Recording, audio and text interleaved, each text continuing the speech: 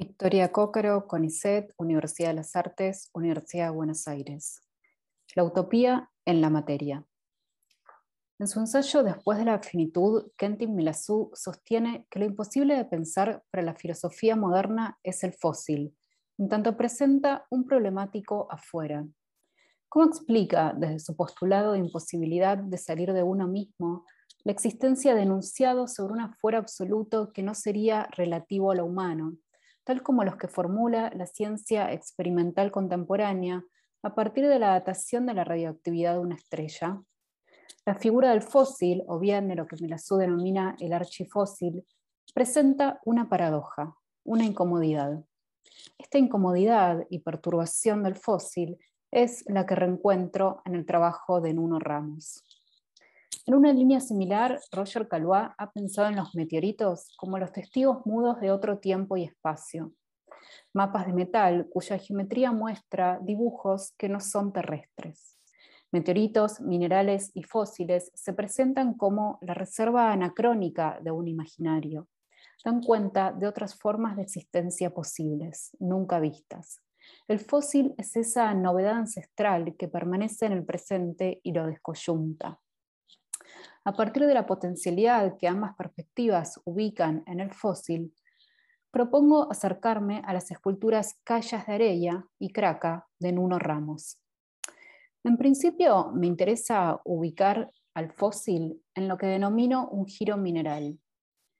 Dentro del campo de las poshumanidades que comienzan a desarrollarse a partir de la puesta en crisis de categorías, disciplinas y disciplinas humanistas, la figura de lo animal ha funcionado en el arte y la literatura como estrategia de interrogación del pensamiento antrópico de Occidente. Planteo ampliar hacia el fósil y lo mineral este imaginario. Es decir, dentro del eje poshumanista que la crítica ha trazado a partir del bestiario latinoamericano, del animal como figura que erosiona categorías y definiciones de sujeto, yo, uno, entre otras, más propio de los 60, propongo un nuevo pliegue hacia la figura del fósil y lo mineral. Al escape respecto de lo humano se suma la enigmatización de la noción de vida, y se sugiere más bien una relacionalidad ajerárquica de múltiples lógicas de lo existente, entre las que se incluye lo inerte, lo no vivo, lo muerto, la materia. Quiero señalar otra potencia del imaginario del fósil.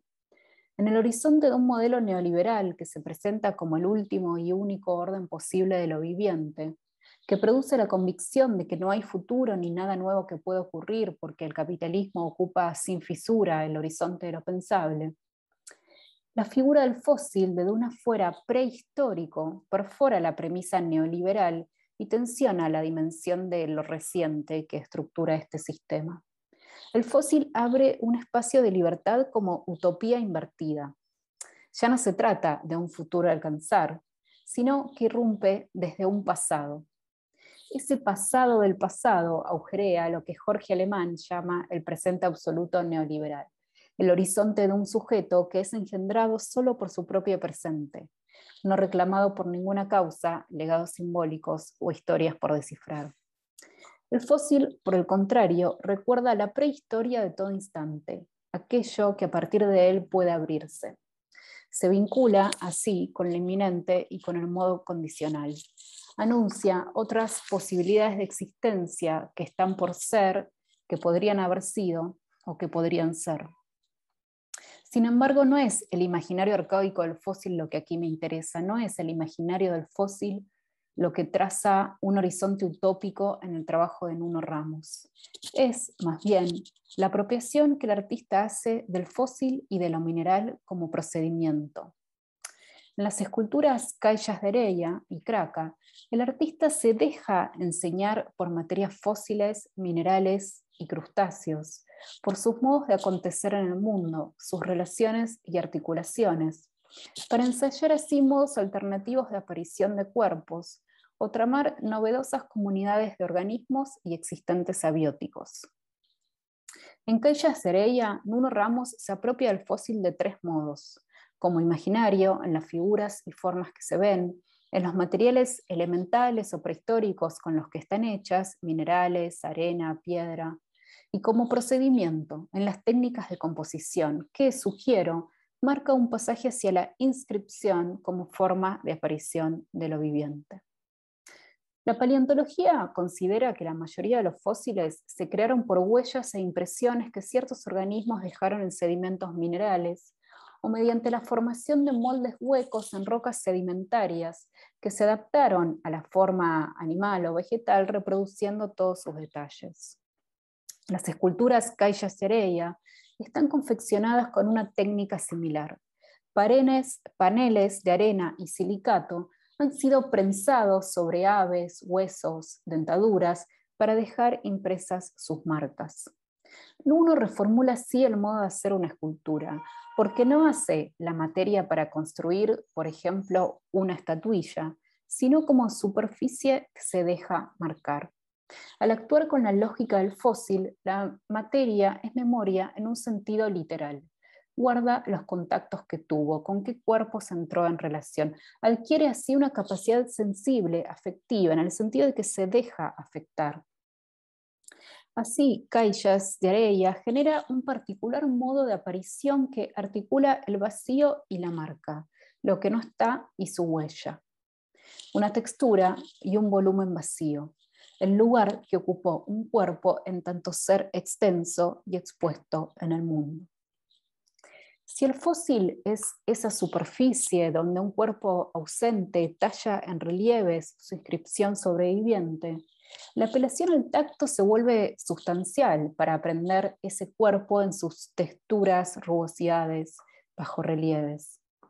En la lógica del fósil, el vacío se vuelve legible por medio de una lengua táctil que además pone en tensión la administración de lo sensible que caracteriza al orden neoliberal, la exhibición, la hipervisibilidad. Si Judith Butler, a partir de imágenes de guerra en las que se ven vidas pero no se las aprende como tales, sostiene que la hipervisibilidad invisibiliza, uno trabaja en un sentido contrario, una invisibilidad que visibiliza, que vuelve sensibles, palpables esos cuerpos y vidas. En el fósil, como procedimiento, lo táctil interviene sobre esta cultura visual administrada, creando modos de aparición alternativos.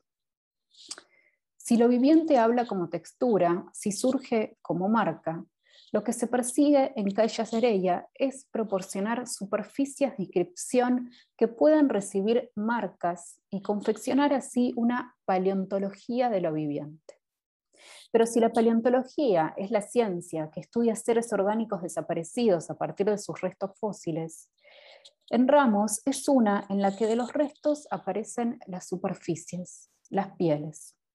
La preocupación por accionar inscripciones materiales, por generar superficies en las que otros elementos, cuerpos, materiales, cosas puedan inscribirse, es un modo en que el artista le crea a lo existente una lengua material mediante la cual, como propone Jacques Nancy en Corpus, se escribe no del cuerpo, sino el cuerpo mismo. Debido a la confianza en la materia para conformar una paleontología de lo viviente en su singularidad e impersonalidad, Ramos actúa al contrario del trazo del naturalista, ya que mediante sus fósiles no delinea una forma genérica para dar cuenta de lo existente, sino que compone mediante huellas e impresiones singulares más que significar toca. En palabras de Nancy, hace del sentido un toque. Pero a la vez que es superficie de inscripción que recibe marcas, la materia le reconstituye a los restos una piel para que puedan aparecer. Por eso, inventar una piel para todo, como escribe en uno en Cujo, es realizar dos operaciones, dar protección y poner en relación. La piel es tanto lo que envuelve un cuerpo como lo que se marca en el contacto con otros cuerpos y materias. A la vez que lo separa, lo junta. Un cuerpo, dicen Nancy, es acontecimiento de piel o de una piel como lugar de acontecimiento de existencia. Entonces, exposición y geografía. Estas propiedades son las que Nuno devuelve en sus fósiles, operando una inscripción de lo que tuvo lugar más que una representación. allí, más que nuevos marcos, se crean moldes que aguardan la inscripción de un cuerpo singular, ese ave, ese pez, y cuyas dos caras testifican su volumen total, guardando en la densidad hueca ese cuerpo como lugar de existencia. Kraka y Kraka 2 retoman del fósil un procedimiento diferente al de Callas de Arella. No son las inscripciones de cuerpos sobre una superficie, sino la agregación de restos. El fósil, aquí un conjunto de restos, adopta una lógica mineral de formación. La piedra es agregativa. Las esculturas son placas de metal de no más de 10 centímetros de espesor en las que se ven cubiertos de aluminio crustáceos, caracoles, cráneos, dentaduras, caparazones, algas, peces, hojas. Allí se encuentran fósiles, minerales, metales y meteoritos. ¿Por qué? Porque las cracas fueron diseñadas originalmente como un plano horizontal para ser apoyado sobre el suelo, para simular la parte visible de un meteorito estrellado sobre la superficie terrestre. Sin embargo, considerando la forma plegada que finalmente adoptaron, las pienso más bien como un estrato insurgente, ya que no se mantiene horizontal, sino que ha devenido movimiento. La lectura que quiero proponer es que los fósiles de las cracas ensayan una lógica otra para lo viviente, una que procede por contagio y agregación, una que practica relaciones interespecistas entre lo existente y, forma, y formula modos de ser en común desde la heterogeneidad. Desde la perspectiva de los fósiles, los minerales y los meteoritos como afueras, mi hipótesis es que las cracas, en tanto placa, le suman una potencia a los fósiles de callas de arella. A diferencia de las callas, en este fósil los cuerpos sí están presentes, no son volúmenes vacíos que hablan en huellos y texturas. Una es el negativo de la otra.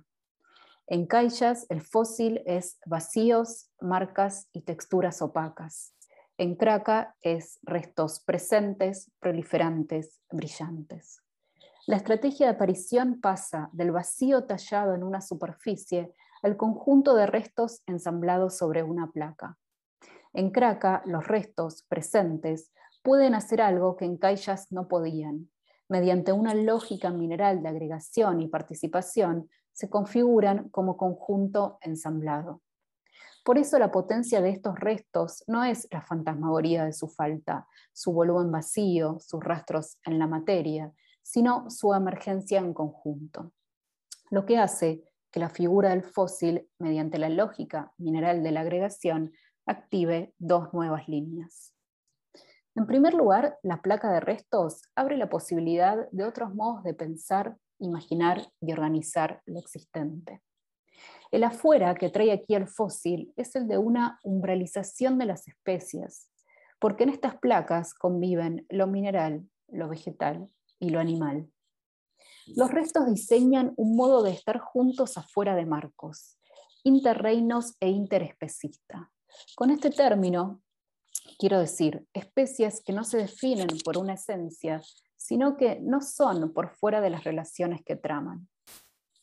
Si este fósil creado por Nuno es una placa en la que conviven especies, hay una operación de poner en contigüidad los marcos que ordenan a lo viviente.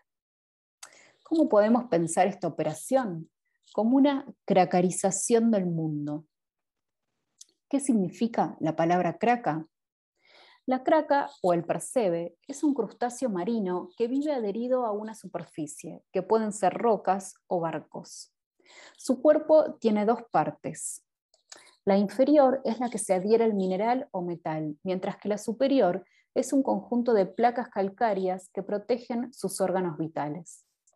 Es un existente que distorsiona la legislación del límite entre especies y reinos, porque es animal, es mineral, en el borde parasita categorías. Además, vive en una contigüidad naturaleza-cultura, ya que la unión entre el mar y el barco es lo que le provee un hábitat propicio. El percebe vive como placa o superficie adherida sobre otra, alterando su forma y su modo de aparición. Altera entonces lo visible. ya que convierte en textura calcárea la superficie a la cual se adhiere, pero también lo enunciable, porque hace fallar el nombre de la especie en cuanto animal mineral. Si el percebe es una placa que está adherida a un borde, puede pensarse, siguiendo a Derrida, como Parergon. No está ni en la obra, en el barco o la piedra, ni fuera de ella, en el mar, y es además una apertura por parasitismo. Anuncia un poder de la materia de realizar una puesta en común de lo existente, de parasitar sus marcos y sus temporalidades, ni remarcando ni pretendiendo la ausencia pura y simple de marco, sino produciendo materias y cuerpos que se depositan sobre otras superficies y marcos, deformándolos, alterando lentamente sus formas. Si eran lisos, los vuelve rugosos, si eran chatos, los vuelve gruesos, si eran inmunes, los vuelve porosos altera, cracariza los marcos con los que hacemos visible y enunciable lo viviente, mientras diseña nuevas formas de aparición. Así como con el fósil, Nuno Ramos adopta la actuación de este crustáceo marino como procedimiento. Por una parte, la craca se ubica en el borde, esencializa seres y materiales, tiene una identidad entre. Cracarizar es una práctica que traza figuraciones alternativas entre lo viviente o existente. Por otra, si la poética de Nuno, en tanto cracarización del mundo, transforma las superficies, funciona como una escarificación de lo sensible, interviniendo nuevamente sobre nuestro régimen de percepción. En segundo lugar, Craca explora, como adelanté, nociones de lo político y de lo común. En relación a una nueva idea de comunidad que no se articula en torno a una causa o identidad en común, y que el conjunto de fósiles articula, hay que señalar que si bien se trata de restos que entran en contigüidad, no se funden por completo. Es un conjunto que no borra las partes. El metal que las ha petrificado y unido opera la tensión de conservar todos los detalles de cada planta, hueso, caparazón o pez cuando son vistos de cerca, mientras que, desde lejos, se muestra como una masa en movimiento. En la comunidad de Sobrada, Nancy recupera el Mit-Sein heideggeriano, enfatizando el mit del Dasein. Más que de un ser ahí, se trata de un ser ahí con. El ser y lo común están más que relacionados, imbrincados. Al pensar el ser en cuanto a relación, Nancy construye la idea de un sujeto político como multiplicidad, que se define a partir de su vínculo con otros sujetos. El ser en común no se realiza mediante la identidad, sino que por el contrario altera o cracariza el sí mismo para ser y existir. Es un ser que en su exposición está atravesado por el otro. Hay uno porque hay otro. Me interesa partir de estas ideas para pensar el procedimiento del fósil y lo mineral que Nuno trafica para el arte en la placa de Craca. Allí decía, las singularidades se entreexponen. Hay otros. Las partes no se han fundido completamente. Es un colectivo hecho de singularidades. Además, su forma de ola revoltosa o de estrato insurgente, como decía, hace pensar en lo común en tanto construcción en disputa, espacio sobre el que continuamente hay que volver como una ola en el mar, para hacer aparecer, dar lugar a los cuerpos que no se ven ni se oyen, y reinscribir y retramar restos. Por último, a partir de las líneas que desarrollaste aquí en torno a la puesta en artificio que hacen uno ramos del fósil, lo mineral y el crustáceo, lo que al comienzo denominé una reapropiación del fósil como procedimiento para producir desde el arte reagrupamientos y desagrupamientos interespecistas, Quiero señalar que la comunidad entre heterogéneos que Kraka diseña debe pensarse tanto hacia adentro, como escultura en la que se han fundido en una misma pieza de metal plantas, peces, caracoles, etc., como también hacia afuera, en tanto instalación. Entonces, entre la agregación y la participación. Las cracas están instaladas en la intemperie y en el espacio público urbano una en el Parque Ibirapuera y otra en el Jardín da Luz de la ciudad de Sao Paulo. Las esculturas instaladas abren y participan en nuevas escenas de convivencia. Son recipientes de agua u hojas secas o piletas para aves. En estas placas conviven especies, pero también muertos, peces fosilizados y vivos, el ave que se baña. Esta escultura instalación participa de una comunidad de vidas interrelacionadas, hace eco de la existencia del entorno viviente con el cual convive en un ensamblaje contingente, no intencional y que además tiene un poder de afectarnos. Esa afección se ve enfatizada en Kraka por su forma, decíamos, una ola que parece venir hacia nosotros y que al instalarse en el exterior recibe los rayos del sol y brilla, titila, deviene una escena vibrante para la visión, sugiriendo nuevamente que para entender a lo viviente, no en términos de especies, sino mediante contigüidades, pasajes, convivencias, redes, hay que desactivar una visión que distingue, ordena y clasifica a la distancia. Por el contrario, la que se enfrenta a Kraka es una mirada que acumula pero no ordena, más bien entra en continuidad. Como ya vimos en Callas de Heredia, mediante el tacto allí, aquí también se activan modulaciones a lo visible. La escultura se presenta así como un temblor visual que tiene una lógica de turbulencia, para usar palabras de Jane Bennett, la cual no ordena al mundo por dualismos, sino como un campo en vibración en el que diversas materialidades colisionan, los restos fósiles, el entorno viviente, nosotros que la observamos. En consecuencia, la escultura instalada ensaya una práctica de lo común, y la placa es el fósil de una comunidad potencial del presente. Como señalé al comienzo, la idea original de Nuno era que Kraka estuviese hundida, metida adentro de la tierra. En este sentido, es además desde el suelo, o bien es el suelo mismo que se levanta, el fósil como estrato insurgente, y presenta múltiples tipos de existentes con los cuales cada vez con más urgencia tenemos que aprender a relacionarnos.